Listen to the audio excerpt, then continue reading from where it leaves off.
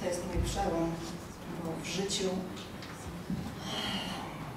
nigdy nie umiałam y, mówić do, do ludzi, ani do, nawet w klasie, kiedy byłam wzywana do odpowiedzi, zawsze dostawałam najniższy stopień, bo nie, nie potrafiłam, żeby nie wiem jaką miała wiedzę, nie potrafiłam wydukać ani jednego słowa. Więc nauczyciele mi nie wierzyli, bo pisałam na najlepsze oceny, a odpowiedzi były na dwóje. No i w rezultacie maturę też tak zaliczyłam, że miałam prawda, piątki, trzy piątki z, z polski, matematyka i, his, i historia, natomiast odpowiedzi były na truje, średnia była cztery, no ale dobre i to. Także biorę dzisiaj mój przełom i trudno mi jest w ogóle zebrać moje 60, ja się chyba nie przedstawiłam. No, mieszkam w Lublinie. Nazywam się Anna Zaręba. Do tego kościoła przyjeżdżam od dwóch lat. I teraz mówię, że trudno jest mi zebrać moje 65 lat życia w, w, jakieś, w jakieś takie króciutkie wystąpienia, ale postaram się. Więc przeszłam wiele. Wiele niedobrych rzeczy. Bardziej pamiętam te, te złe chwile niż dobre. Chociaż w tej chwili już Bóg Święty pozwala mi załatwić się z moją przeszłością niedobrą. W każdym razie byłam dzieckiem bardzo nieśmiałym, wylęknionym.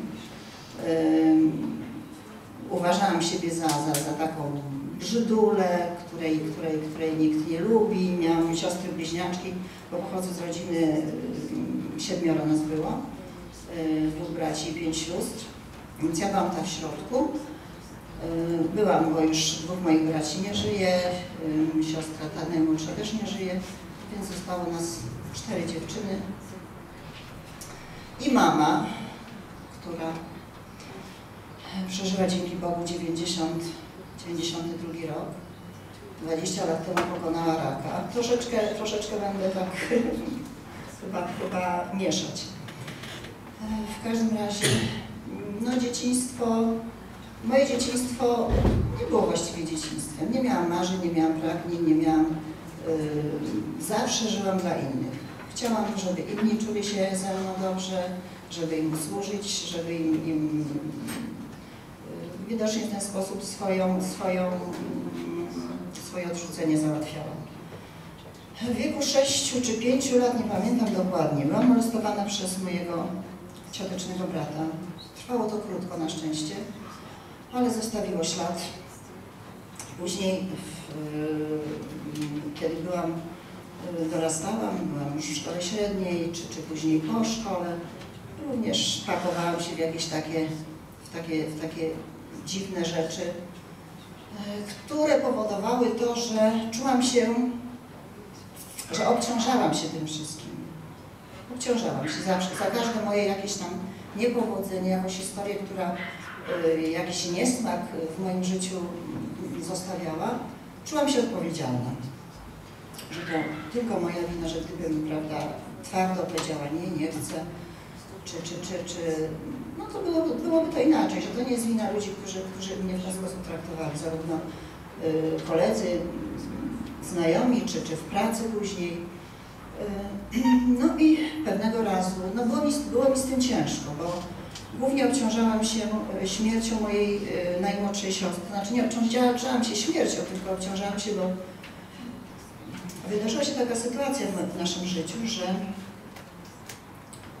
że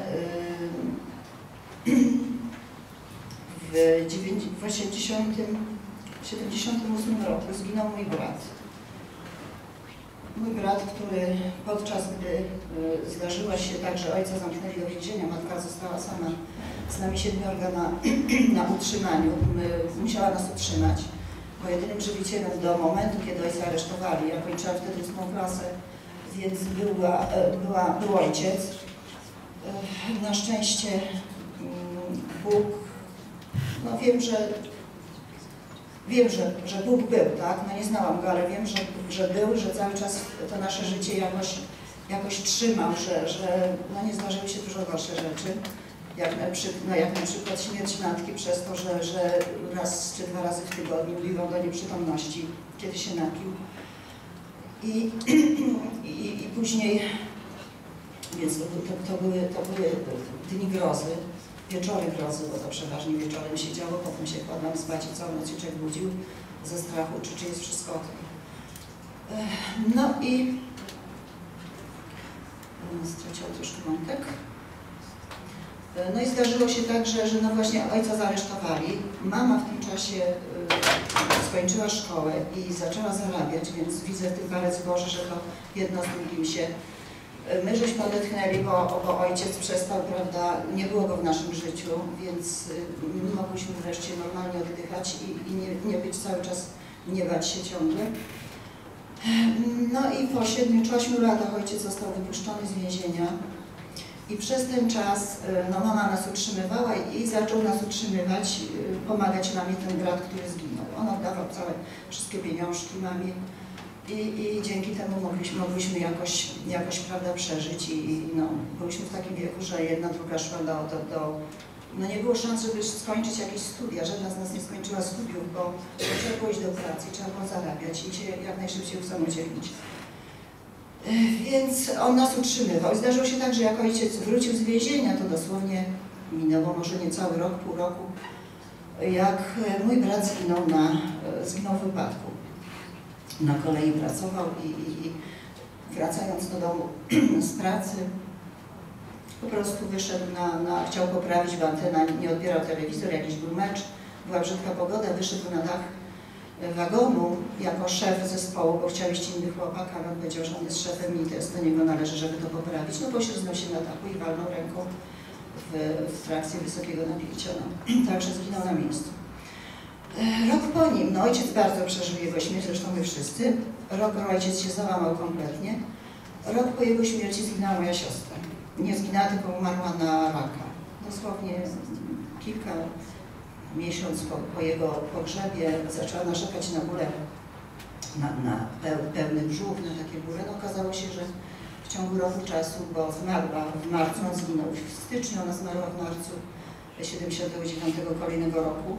Najmłodsza siostra 21 lat miała, brat 26. Więc no był to, był to ogromny szok dla nas kolejny, tak? Bo no, no, były to takie no nie, nie, nie przeczę, że, że największy sentyment taki czuliśmy. Ona jako najmłodsza, fajna, utalentowana była, bardzo grała na, na, na pianinie, także jako, jak, jako samouk była bardzo fajną dziewczynką. No i w czasie, tej, jej, w czasie jej choroby ja po prostu ja nie, nie potrafiłam sobie dać rady z jej chorobą.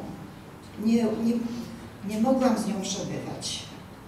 Także wychodziłam do pracy, wracałam z pracy, zjadłam w domu, zawijałam się i po prostu szłam do, do, do, do kolegów, do koleżanek. Wtedy też wkładałam się w taki, w, tak, w, taką, w taki związek z, z kobietą, ale to też, też to było, nie wiem, wplątałam się, było to przeciwko mnie, ja nie chciałam, ale, ale byłam w tym, nie wiem, no, siedziałam w takich różnych, różnych, różnych rzeczach. W każdym razie no, też nie trwało to długo, ale, ale właśnie przebywałam poza domem i, ta, i, i, i z, tą, z tą śmiercią, z, z, tą chorobą mojej siostry, no musiała sobie radzić właściwie sama mama, bo, bo starsze siostry już, najstarsza wyszła za mąż, mieszkała u męża, dwie z kolei młodsze wyjechały do Lublina, więc ja byłam z rodzicami cały czas. I nie byłam z nimi w tym, w tym, w tym, całym, w tym całym nieszczęściu. Uciekałam od tego. No i to, było takie, to był taki naj, naj, najgorsza rzecz, którą wyrzucałam sobie, że nie potrafiłam z nią rozmawiać, że nie byłam z nią, że ją jakoś nie wspierałam, no ale nie, po prostu nie wiedziałam jak, nie umiałam sobie z tym poradzić. No i, i, to, i to było coś, co, co bardzo długo, właściwie do około dwóch lat temu, e, Duch Święty mi uświadomił, że, że, że to są rzeczy, z którymi sobie muszę, się muszę załatwić. E, poszłam do poszłam do kościoła, miałam, chodziłam do kościoła, ale bardzo rzadko, bo nie czułam się tam dobrze po prostu. Mój ojciec był organistą z wykształcenia, ale nigdy nas nie namawiał na, do kościoła, żebyśmy biegały do kościoła, żebyśmy odmawiały różańce. W domu nie było żadnego świętego obraza. Nie pamiętam nawet, żeby Biblia gdzieś była. Na pewno ojciec ją miał, ale ona nie leżała w takim miejscu, że, że, że ja mogłam po nią sięgnąć i sobie poczytać. I nie miałam zresztą parcia na, na czytanie Biblii. Ale wiedziałam, że, że, że w kościele, że tam jest coś nie tak, tam mi nie pasowało. No, pierwsze zetknięcie z kościołem to było z, z, z tym, z tym no, jak, jaki, jest, jaki jest kościół, to było w momencie, kiedy szłam do pierwszej komunii. Więc przed komunią trzeba było, e, wiadomo, odbyć spowiedź pierwszą. No i poszłam do tego, oczywiście to było dla mnie ogromne przeżycie, bo, bo ja w ogóle byłam zamknięta osobą, ja sobie nigdy nie mówiłam, ja nie lubiłam, wolałam siedzieć w kącie, wolałam usługiwać, prawda, zmywać, sprzątać i tak dalej, niż siąść do stołu pogadać z ludźmi, więc to było dla mnie, yy, więc iść do spowiedzi, no ale trzeba, no trzeba. No, no dobra, no zaczęłam się tam spowiadać, że tam to sianko, w końcu mówię, no że wiele razy, no opuszczałam mszę świętą. Jak ksiądz się pyta, ile razy? Ja mówię, nie pamiętam, no tak, nie uczyli, mów, nie pamiętam. On, on dalej, no ale ile razy? Nie pamiętam. No ile razy? Nie pamiętam. No więc wyszedł z konfesjonału, wziął mnie za rękę, zaprowadził mnie do proboszcza i powiedział, że mi nie da y, odpuszczenia grzechów, że ja nie mogę przystąpić do komunii, bo ja się nie, nie wyspowiadałam. Bo on mnie nie może rozgrzeszyć. No więc tam oczywiście się rozbeczałam. Y, przyszedł drugi ksiądz, za jakiś czas wziął mnie do kolejnego konfesjonału, wyspowiadał mnie, no i tak taką nie miałam. No ale to skutek był taki, że ja przez całe życie właściwie mogę na palcach policzyć, kiedy byłam u spowiedzi. No i ostatni raz u spowiedzi to byłam właśnie przed tym nawróceniem, też tam próbowałam pójść, miałam jakieś problemy w domu z, z, moim, z moim mężem, więc y, pobiegłam do kościoła, no mówię, pójdę do spowiedzi, tam może, może jakoś mi do tego. No niestety. Też ksiądz mnie nie chciał, nie chciał mi ten, bo stwierdził, że nie umiem się spowiadać. No bo ja nie mogłam z siebie wydukać tych moich, prawda? Ja sobie chciałam z nim po prostu pogadać, chciałam mu powiedzieć. Ja próbowałam go na, na, na, na taką zwykłą rozmowę przez te kratki na, na, naciągnąć. Ale on nie chciał, no powiedział, kobieto, za rzadko się spowiadasz, no, no, no niestety, no dam ci to rozgrzeszenie, ale ty częściej chodź do spowiedzi. No więc nie chodziłam, przestałam chodzić. No i przyszło to właśnie parcie któreś niedzieli, że ja muszę pójść do kościoła. Muszę pójść do kościoła, więc wybrałem się do kościoła na 18, już wszystko w domu było, prawda, porobione, sprzątanie, gotowanie i tak dalej, bo to zwykle niedzielna praca była dla kobiety. No i, no i o dziwo byłam wcześniej niż zwykle to, prawda, ja wchodziłam, a teraz byłam troszkę wcześniej. No i taki zwyczaj jest w kościele, że przed mszą o 18, przynajmniej w Lublinie, taki z tej wieczornej jest podniesienie Najświętszego Sakramentu. No ja nie chciałam przeszkadzać i pchać między ludzi, więc stanęłam sobie w, w, tej, w tym przedsionku takim. Tam było jeszcze mnóstwo innych osób. No i w pewnym momencie słyszę głos e, ksiądz, jak mówi coś o przebaczeniu. Słowa, pada słowo przebacz. No i ja słyszę, prawda, z lewej strony męski głos, wybacz sobie. Zastanowiłam się, rozejrzałam się po, po, tej po, tym, po tym przedsionku. Nie ma żadnego mężczyzny. Były same kobiety. Ale ponieważ już moja siostra, jedna z tych bliźniaczek, zaczęła mi głosić y, Jezusa, zaczęłam słuchać, już słuchałam wtedy Dereka Prince'a, słuchałam Joyce Meyer, słuchałam y, Umaka, więc już wiedziałam, że ja szukałam, już wtedy szukałam Boga, chciałam, chciałam Go znać, chciałam Go poznać. No i wiedziałam, że, on że, że to On do mnie mówi, tak? Tylko wróciłam do domu, co ja mam sobie wybaczyć? No siedzę, zastanawiam się, położyłam się spać, rano wstałam. Przyszło, co ja mam sobie wybaczyć? Właśnie ta Basia przede wszystkim, no i między innymi cała, cała reszta tych, moich prawda, różnych nieudanych spraw, którymi się obciążałam i tak dalej. Więc to wszystko mi przebiegło przed oczyma. No i słuchajcie, i, i, tu się zaczął już, i tu się zaczęła już przygoda z, z, z Biblią, bo wcześniej próbowałam Biblię czytać, no księża, prawda, no czytajcie Biblię, czytajcie Biblię, namawiali i tak dalej, no ja brałam tą Biblię, próbowałam czytać, ale w ogóle jakoś ani przecinków nie widziałam, ani kropek, ten podział na rozdziały, coś, to, to, to w ogóle ja sensu w tym jeszcze, jak zajrzałam do Starego Testamentu, to mówię, Boże, co to jest, co to za język, co to za jakiś sposób wyrażania myśli i jakiś tam, ja tego w ogóle nie rozumiem. No raz, drugi, trzeci biorę tą Biblię, nic. Tego dnia wzięłam Biblię i wszystko było dla mnie jasne. Wszystko było jasne. Także, także już od, od tej pory jest, jest coraz lepiej. Jest coraz lepiej. To było dwa lata temu, ale tak jak mówię, 62 lata życia, przewrócić to teraz, ale to, o czym Artur mówił, że trzeba właśnie dzisiaj rano, że, że, że uczę się wierzyć każdego dnia, każdego dnia, jakikolwiek problem jest przede mną. Ja miałam na przykład z moją córką, no, nad, byłam nadopiekuńcza, miałam ją jedną, tak? Więc, więc ponieważ nie bardzo mogłam, mąż i owszem, yy, kiedy była dzieckiem, no to, no to bardzo jej dużo, yy, bardzo dużo przebywał z nią. Ja pracowałam, on był więcej w domu, więc odwoził, przywoził na zajęcia dodatkowe do szkoły, pływanie, narty, to wszystko ma, prawda, dzięki niemu, bo ja bym nie miała na to czasu ani ani no sama tego nie potrafię, więc by mi, by mi nie przyszło do głowy, żeby ją tego uczyć. E, także on, e, to jest jego zasługa duża. Natomiast, natomiast no, całe utrzymanie domu i wszystko, e, no, był tak, był bardzo uzależniony od mamy i jest do tej pory, więc on, no ja musiałam się zatroszczyć o finanse. To ja się musiałam zatroszczyć, także wszelkie, wszelkie historie, ale wszędzie tam, gdzie, gdzie robiło się trudno, gdzie już nie widziałam wyjścia, zawsze był Bóg i zawsze to wyjście znalazłam i wychodziłam z tego nie przypisując y, wtedy sobie zasług, no bo wiedziałam, że Bóg działa przez ludzi, po prostu stawiał na mojej drodze ludzi, którzy mi w tych trudnych sytuacjach pomagali, wyciągali do mnie rękę, pożyczali nieznajome osoby, poszłam do banku, żeby coś załatwić, a ona mówi, proszę Pani, a Pani tam, ja przeleję z mojego konta na Pani konto 5 tysięcy, żebyśmy mogły tu zmienić, żebyśmy z tego wyszli i tak dalej. Kobieta mi przelała pieniądze, ja później, prawda, umowę nową zawarłam na innych warunkach i natychmiast jej te pieniądze oddałam. Także no takie, takie sytuacje różne, czy jak żeśmy mieszkanie kupowały dla matki w Warszawie, więc też, e, też były ni stąd, ni zowąd ludzie zadzwonili i, i, i słuchaj, a ja mam, a co bo ona mówi, mam taki problem, a ja mam, ja Ci pożyczę, nie ma problemu. Także, także Bóg działał po prostu przez ludzi. Wtedy, kiedy ja, ja Go nie znałam, nie wiedziałam, że, że wystarczy, że, że Go przyjmę do mojego życia, że Mu zaufam i że On i że on już, już po prostu nie, nie będę się miała czym martwić, wszystko będzie w jego.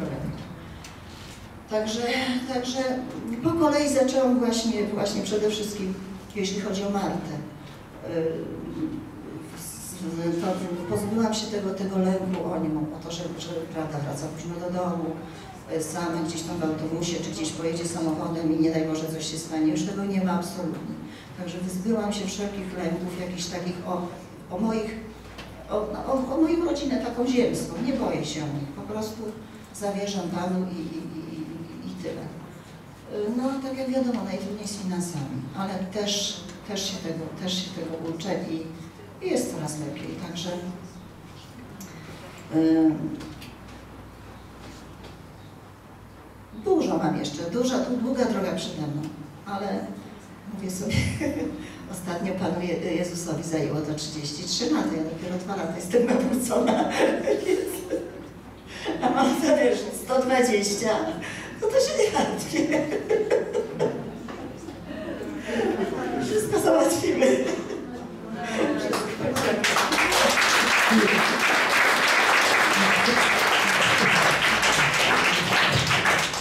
Słuchajcie, e, ja coś wam powiem. Ania mówiła, że mówili o Jezusie.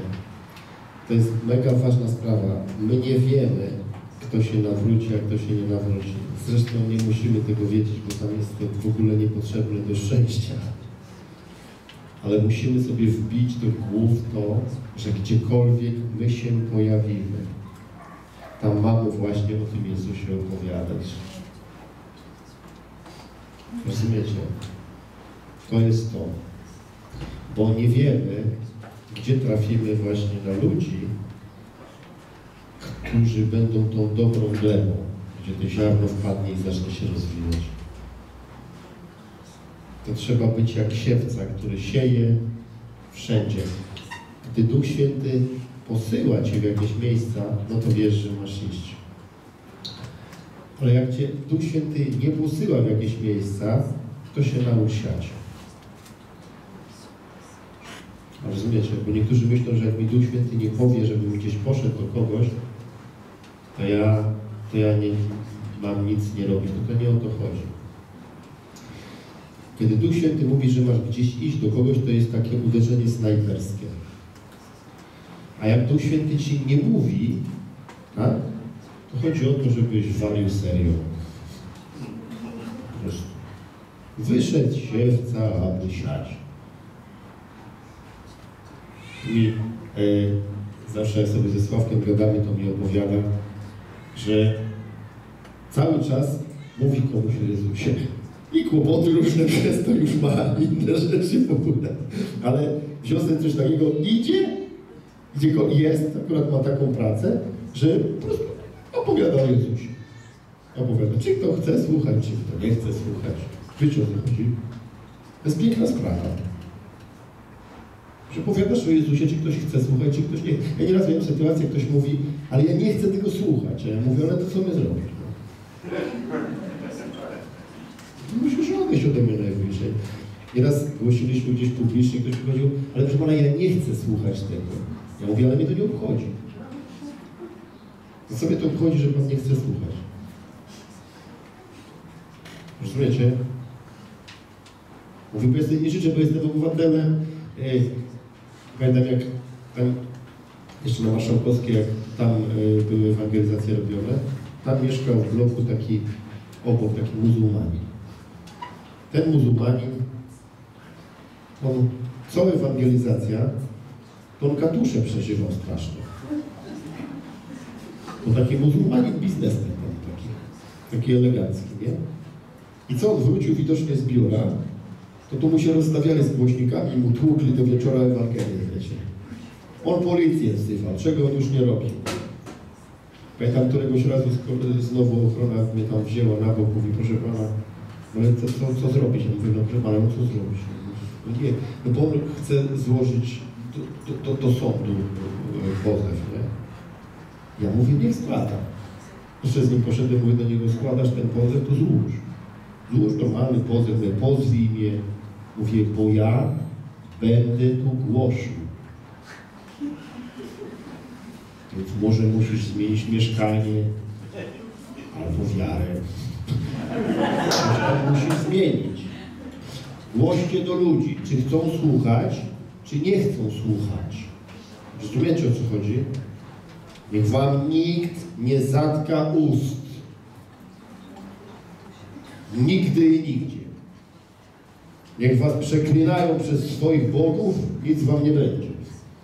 Wasz Bóg jest większy niż wszystkie bóstwa tej ziemi. Rozumiecie? A wy mówcie, bo nie wiecie, kiedy wasze słowa padną na odpowiednią ziemię i zdarzy się, że to był właśnie Syn Pokoju. Rozumiecie?